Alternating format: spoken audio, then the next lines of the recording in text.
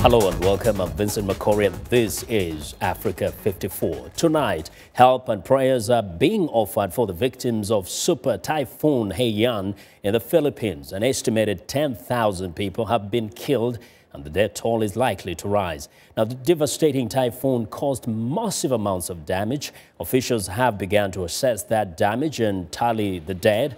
Many local residents are in dire need of clean water, food and other basic necessities. Help is on the way, even though it may take some time to reach the victims.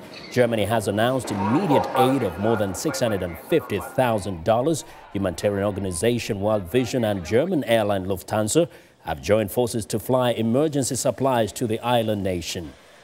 U.S. forces joined the rescue and relief operation in the central Philippines Monday. President Barack Obama issued a statement Sunday offering condolences to the millions affected and pledged support in the form of, of uh, humanitarian aid and relief assistance. Super Typhoon Haiyan is believed to have destroyed about 70 to 80 percent of structures in its path in the central Philippines as it ripped across coastal provinces. Most of the damage and deaths were caused by huge waves that inundated towns and swept away coastal villages in scenes that officials likened to the 2004 Indian Ocean tsunami. U.S. Marines Brigadier General Paul Kennedy, who is on the ground in Leyte province, Philippines, says everything is significantly damaged or destroyed.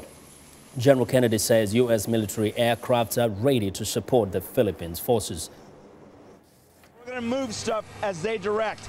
As the Philippine government and their armed forces ask us for, for support, I've got uh, airplanes and helicopters. I've got airplanes that can look uh, look for people in, in, areas that are stranded. What so th that's what I do. I provide capabilities that, that are not resident here.